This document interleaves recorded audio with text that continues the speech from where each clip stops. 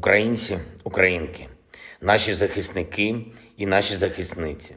Сьогодні 22 червня, день скорботи і вшанування пам'яті жертв війни, тієї війни, війни, яка назавжди мала залишитись в історії ХХ століття і ніколи не мала повторитись, але повторюється.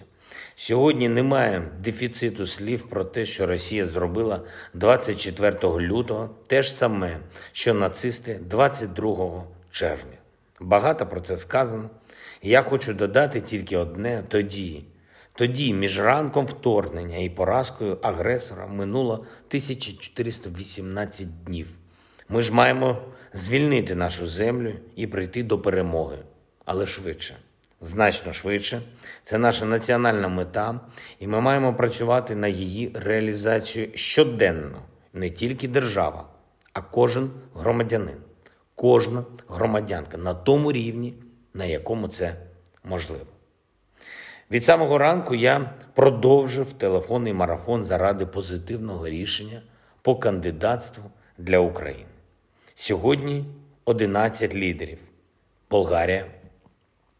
Подякував пану прем'єр-міністру Болгарії Петкову за підтримку України і розвитку всієї Європи за нашою участь. Латвія обговорили з паном прем'єр-міністром Каріншем співпрацю між нашими країнами, між Україною і Європейським Союзом, а також наші спільні можливості захистити Європу від тих криз, які влаштовує Росія, зокрема продовольчі. Греція. Був радий почути слова щирої підтримки України. Маємо з паном прем'єр-міністром однакове бачення історичної ваги рішення, яке очікується від Європейської ради. Швеція обговорили з пані прем'єр-міністром Андерсон перспективи двосторонньої співпраці та взаємодії на рівні європейських структур. Естонія подякував пані прем'єр-міністру Калас за незмінну підтримку України. Обговорили пріоритети нашої співпраці та порядок денний в контексті саміту НАТО в Мадриді наступного тижня. Чехія. Плідна розмова з паном прем'єр-міністром Фіалою. Обговорили пріоритети головування Чехії в Раді Європейського Союзу в наступні півроку. А зараз я впевнений, що голос Чехії за Україну. Бельгія подякував пану прем'єр-міністру Де Кро за підтримку нашої європейської перспективи і запросив відвідати Україну. Сподіваюся, що Бельгія візьме істотну участь у післявоєнній відбудові нашої держави.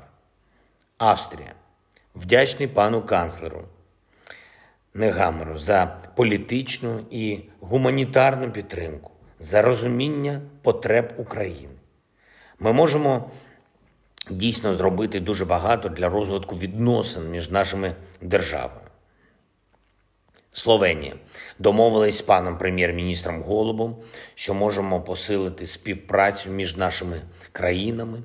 Подякував за послідовну підтримку кандидатства для України. Молдова говорив з пані президенткою Сандою. Взаємно підтримали одне одного. Напередодні важливого засідання Європейської ради і будемо допомагати одне одному швидше пройти цей шлях шлях до Європейського Союзу. Сьогодні знову говорив з президентом Литви Гітанасом Науседою. Висловив йому повну підтримку у зв'язку з ситуацією навколо Калінінградської області Росії. Завтра продовжу такий марафон. Маємо забезпечити максимальну підтримку нашої державі. Ключове європейське рішення. Очікуємо. Очікуємо завтра. Надвечір. Окупанти били по Миколаєву. Сім ракет. На щастя, загиблих не було п'ятеро людей поранень. Були удари і на Харківщині. Є жертви обстрілювали прикордоння Чернігівської і Сумської областей. На Донбасі масовані авіаційні артилерійські удари. Мета окупантів на цьому напрямку незмінна. Вони крок за кроком хочуть знищити весь Донбас. Весь Лисичанськ, Слов'янськ, Краматорськ, будь-яке місто. Їм потрібно все зробити таким, як Маріуполь, повністю розбитим.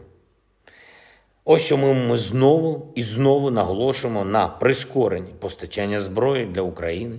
Якнайшвидше потрібен паритет на полі бою, щоб зупинити цю дьявольську армаду і посунути її за кордони України. Я вдячний Сполученим Штатам Америки за допомогу і в розслідуванні воєнних злочинів на території України.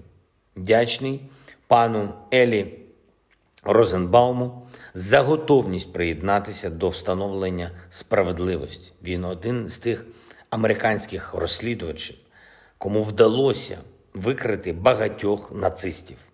Наша спільна слідча група має бути максимально сильною, щоб ніхто, ніхто з російських злочинців не уникнув покарання.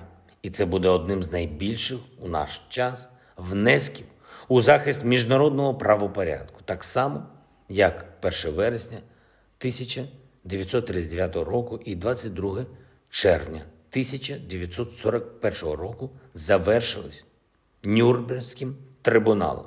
Має завершитись у справедливому трибуналі і 24 лютого 2022 року.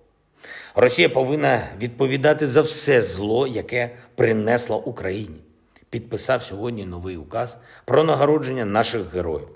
Державними нагородами відзначено 195 учасників бойових дій, із них 17 посмертно. Вічна пам'ять усім, чиї життя забрали окупанти. Вічна слава кожному і кожній, хто воює за Україну. Готуємось до історичного рішення Європейської ради.